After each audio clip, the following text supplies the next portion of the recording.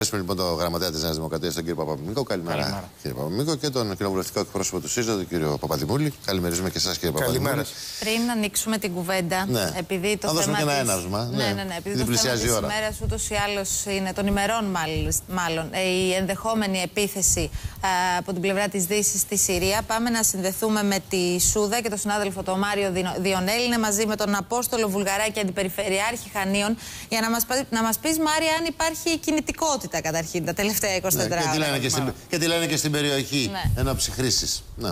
Καλημέρα σας από τη Σούδα. Υπάρχει κάποια κινητικότητα, υπάρχουν πληροφορίες, γιατί με πληροφορίες μιλάμε, δεν υπάρχουν επίσημες ανακοινώσεις σε αυτά τα πράγματα όπως ξέρετε. Ε, ναι. Ότι ήδη μια βελγική μοίρα αεροσκαφών F-16 έχει φτάσει στην ε, Σούδα και σταθμεύει ήδη εδώ τις τελευταίες ώρες. Υπάρχει μια κινητικότητα στις ε, αμερικανικές βάσεις και στον ε, αμερικανικό ναύσταθμο αλλά και στην αεροπορική βάση.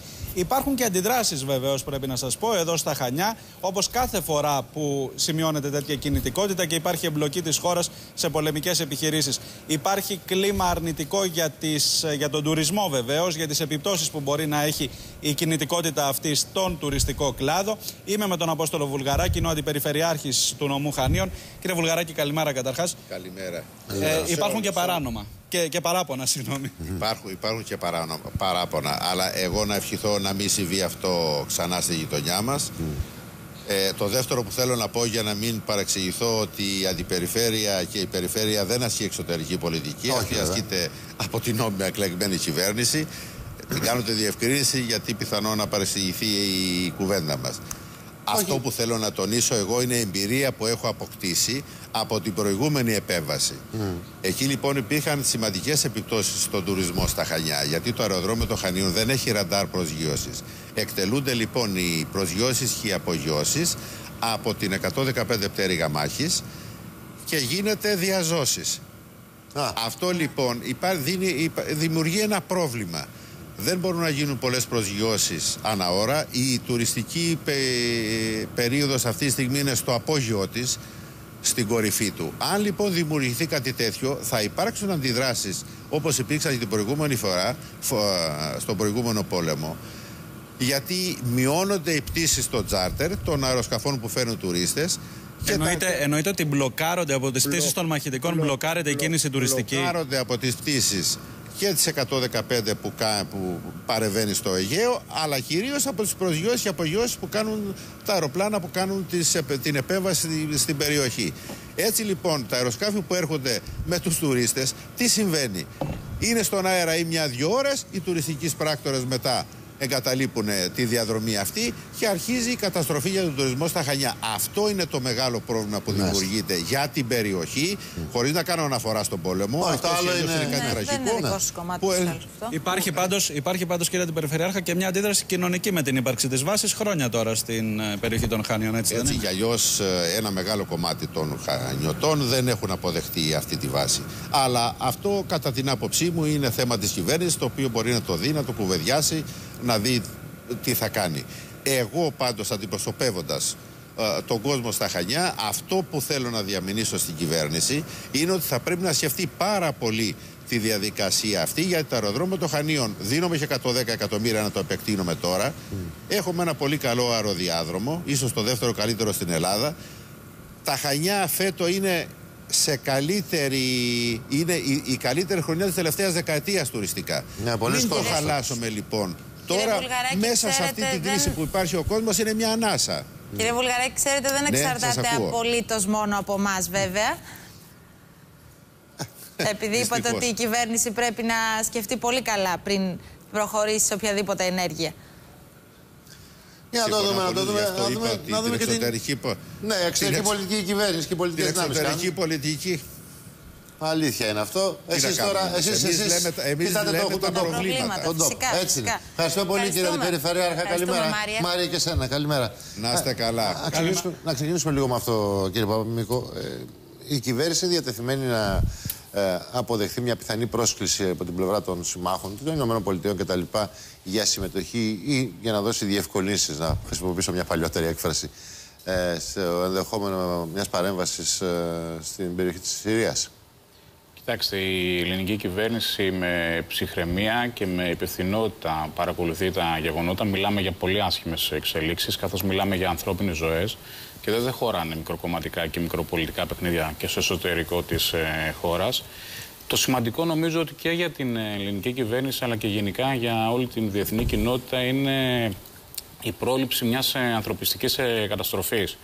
Γιατί Πού είναι όμως σε εξέλιξη δύο χρόνια τώρα, σφάζονται. Είναι σε, σε εξέλιξη, αλλά τώρα μπαίνουμε νομίζω δυστυχώς σε μια τελική ευθεία που θα έχει άσχημες συνέπειες και νομίζω ότι αυτό είναι το πιο σημαντικό. Μιλάμε ξανά για ανθρώπινες ζωές. Από εκεί και πέρα η ελληνική κυβέρνηση θα αντιμετωπίσει το θέμα με σεβασμό και στο διεθνές ε, δίκαιο αλλά και ανταποκρινόμενοι και στις ε, συμμαχικές μας ε, υποχρεώσεις. Να την κάνω την ερώτηση. Οπότε θα το δούμε εν εξελίξει το θέμα. Να την κάνω και αμέσως κύριε Παπαδημούλη, να την κάνω την ερώτηση πιο κοινικά. Επειδή είχαμε και μια συζήτηση νωρίτερα ε, με έναν καθηγητή, με τον κύριο Μάζη δηλαδή, το ευρύτερο πεδίο.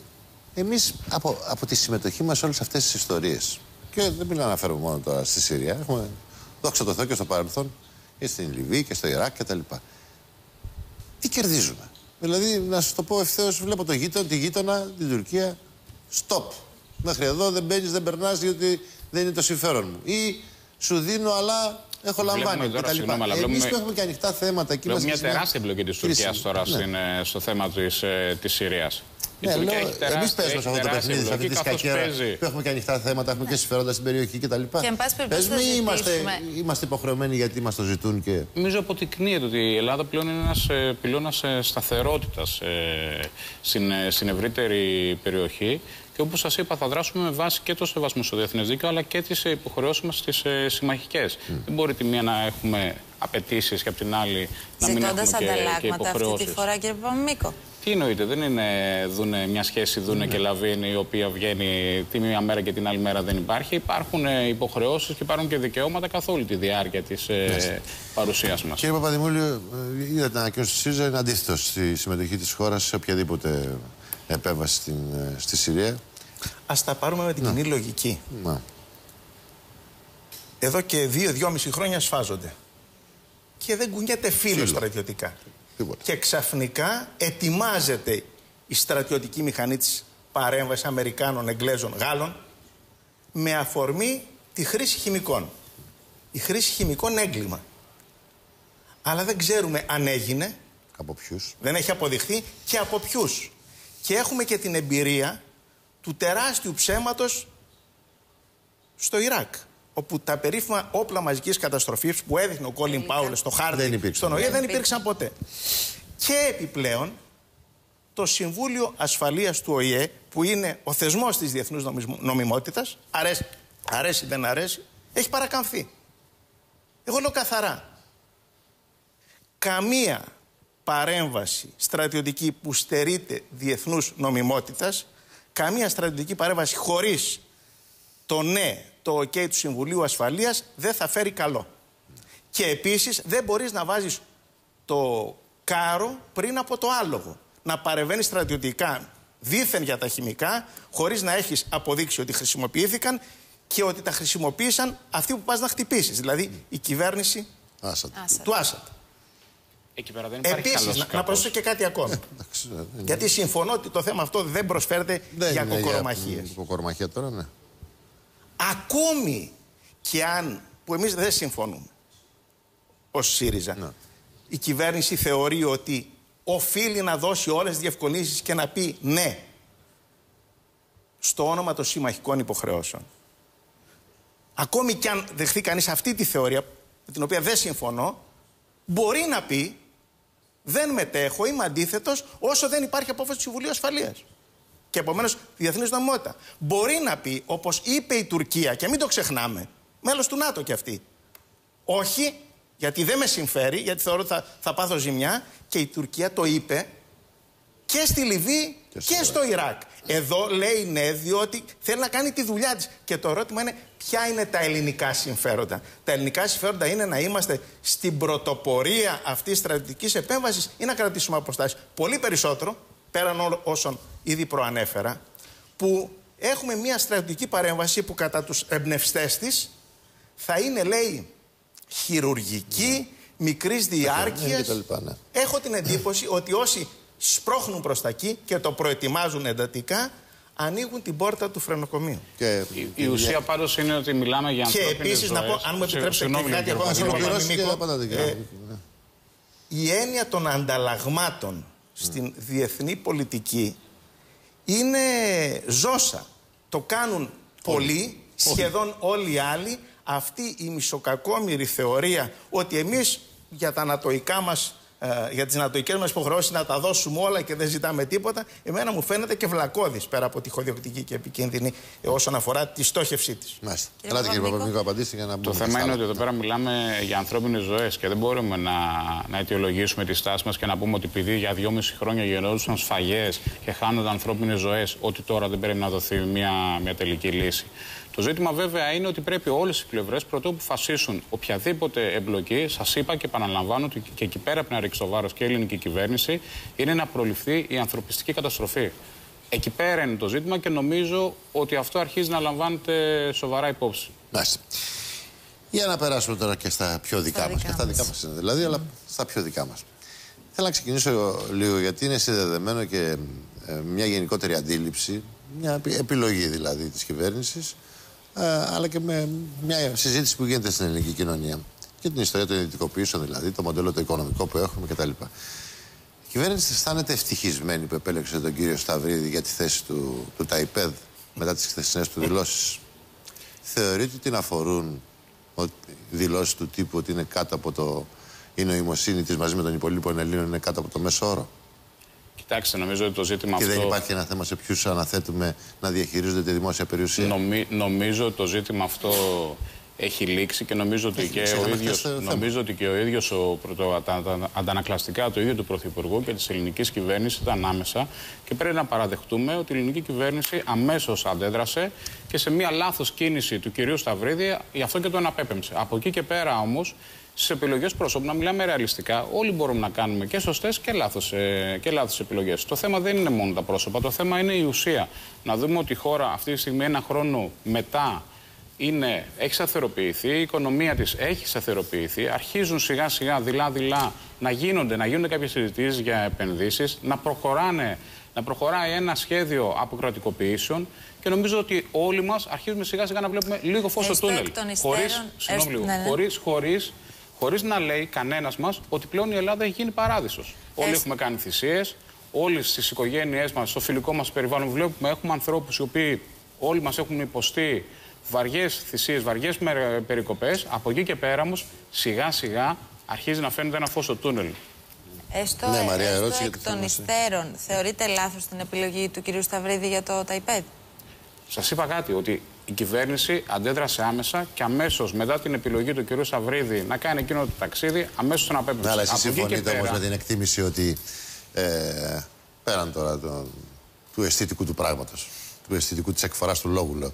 Εσεί συμφωνείτε με την εκτίμηση ότι στην πραγματικότητα υπεύθυνοι για αυτή την κατάσταση που ζούμε στην Ελλάδα είναι όλοι όσοι αντιδρούν στις πολιτικές επιλογές των ιδιωτικοποιήσεων. Νομίζω είναι ξεκάθαρο ότι. αντιδρούσαν τα προηγούμενα χρόνια σε. Νομίζω, νομίζω ότι είναι ξεκάθαρο ότι κανένας δεν μπορεί να ανοίγει τις ευθύνες μόνο στους Έλληνες πολίτες. Όλοι ευθυνόμαστε συνολικά, ευθύνει την πολιτεία, ευθύνονται, μπορεί να ευθύνονται κάποιες συντεχνίες, ευθύνεται, μπορεί να ευθύνονται ένα, ένα θεσμικό πλαίσιο. Το θέμα είναι να μην αναζητούμε τις ευθύνες στο παρελθόν. Να δούμε από εδώ και πέρα τι μπορούμε να κάνουμε. Πρέπει να σταματήσουμε αυτό το διάλογο στην Ελλάδα μόνο για το παρελθόν. να κοιτάξουμε θετικά και παραγωγικά. Το δικό σας σχέδιο, γιατί εσεί εσείς συνδέσατε και στην προηγούμενη φάση την ε, παρουσία του κυρίου Σταυρίδη και την στάση του και με το γενικότερο θέμα του ΤΑΙΠΕΔ και των ε, αποκρατικοποίησεων.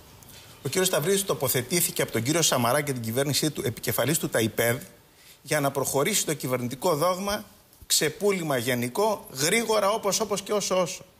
Οι δηλώσεις του χθες σε νορβηγικό μέσο ενημέρωσης, όπου απεκάλυψε τους Έλληνες ηλίθιους με νοημοσύνη κάτω του μετρίου, όπου είπε ότι θα προτιμώ να ζω μαζί με Νορβηγούς και όχι με συμπατριώτες του όπου όσους είναι αντίθετοι σε αυτό το γενικό ξεπούλημα, όπως το κόμμα της αξιωματικής αντιπολίτευσης, αλλά και πάρα πολλοί Έλληνες, ανεξάρτητος κόμματος, τους έβρισε ιδέα. Fuck you, είπε, για όσους έχουν άλλη γνώμη.